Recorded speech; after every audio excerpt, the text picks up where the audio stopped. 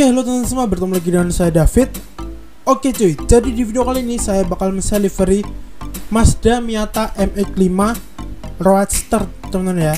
Nah, yang pasnya itu keren banget cuy. Oke, seperti biasa sebelum ke videonya buat kalian semua yang belum subscribe channel saya, silahkan kalian klik tombol subscribe-nya dan jangan lupa kalian aktifkan juga notifikasinya teman-teman ya. Saya ucapkan terima kasih banyak buat kalian semua yang udah subscribe channel saya karena satu subscribe dari kalian itu banyak banget cuy. Yeah.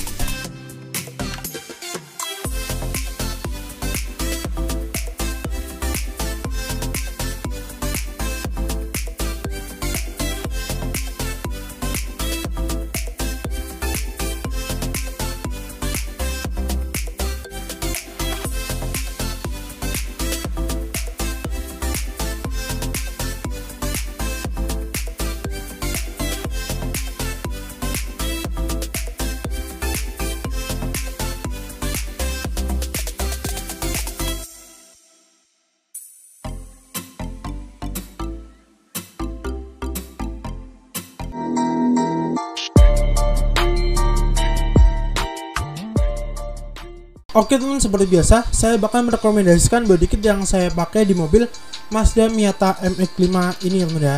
Nah dan ini adalah layout dari mobilnya nih coy. Oke mobilnya tuh kayak gini ya teman ya. Nah, nah ini adalah mobil satu-satunya yang ada di Indonesia coy. Yaitu Mazda Mi yaitu Mazda Miata MX-5 punyanya Fitra Eri ya teman ya.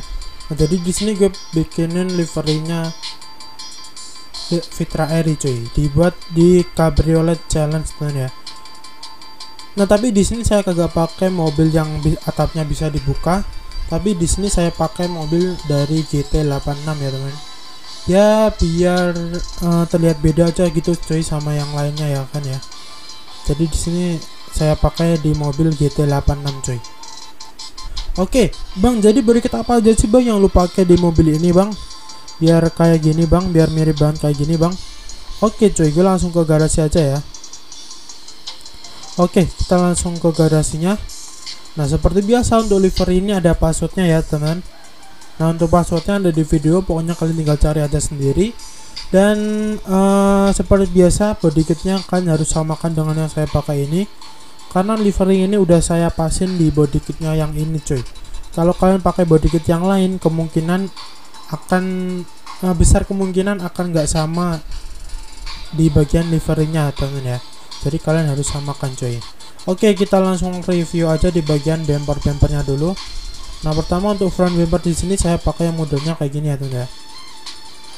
Yang di bagian depan ada ini garis-garisnya kayak gini coy.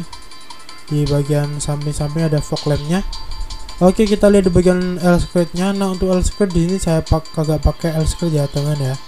Karena kenapa? Karena biar terlihat lebih pendek gitu cuy.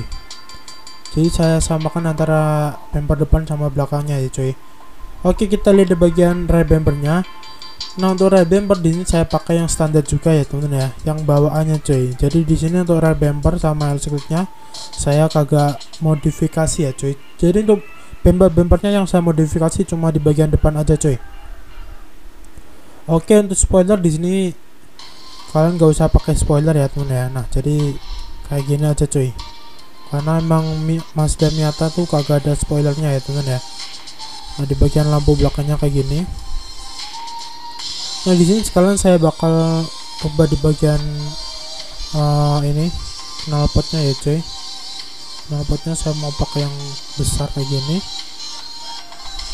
Nah kita lihat di bagian velgnya. Nah, untuk velg ini custom ya teman ya. Kalian bisa custom juga sendiri sesuai dengan keinginan kalian. Nah di sini saya pakai Cosmic Racing cuy.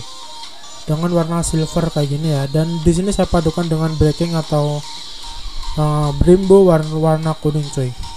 Dan di sini kita lihat di bagian FL dan RL fendernya nah ini menurut gue sangat penting banget cuy udah berapa kali gue bilang kalau mobil GT86 ini harus dikasih FL dan RL fender cuy.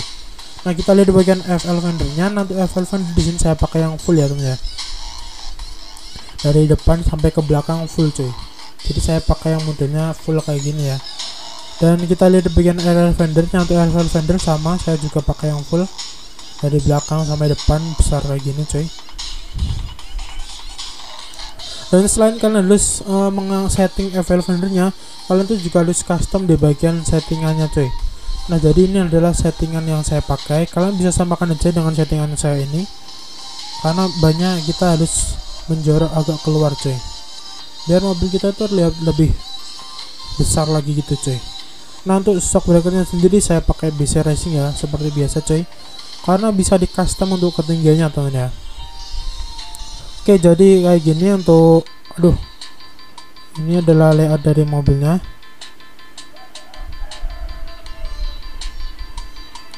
Oke, karena berhubung di dalam belum gue custom, jadi gue akan custom juga ya. Nah dan ini adalah logo dari Mazda Miatanya cuy. Oke kita custom di bagian interiornya ya. Nah untuk seatnya sendiri saya mau custom karena temanya ini warna merah, gue harus pakai yang warna merah cuy. Kemudian untuk steeringnya kita custom juga pakai grip. Ini ya, energy ya. Speedometer saya pakai yang standar kemudian di sini kita custom semua. Kita custom rubah modelnya aja handbrake. Kita rubah semua coy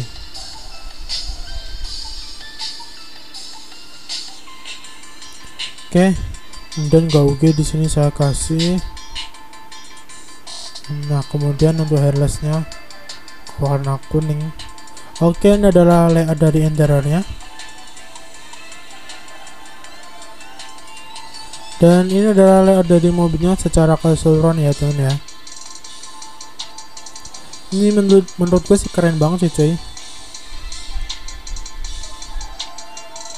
dan sebelumnya gue mohon maaf banget karena kemarin tuh gue sibuk banget ya cuy. Dan ada banyak masalah banget cuy. Mouse gue rusak lah. Ini rusak lah ada paket lah. Pokoknya ada banyak banget masalah kemarin cuy. Oke ini dia adalah mobilnya teman ya. Keren banget ya cuy. Gue suka sih sama mobil kayak gini ya. Warnanya merah dove kayak gini detailingnya ini di bagian sini detail banget. Dan oke teman kita langsung aja lanjut ke video tutorial cara pemasangannya ya cuy. Oke